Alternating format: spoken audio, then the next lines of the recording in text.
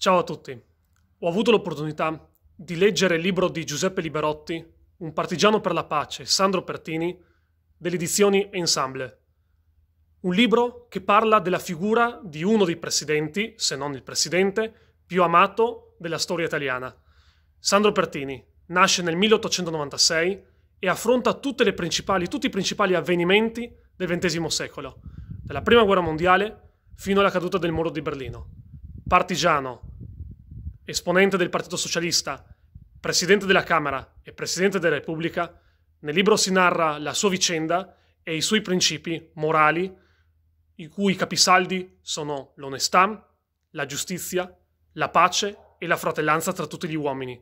Ve lo consiglio davvero come libro perché la figura di Sandro Pertini non si dimentica ed è già nella storia italiana e nella storia del pensiero politico mondiale.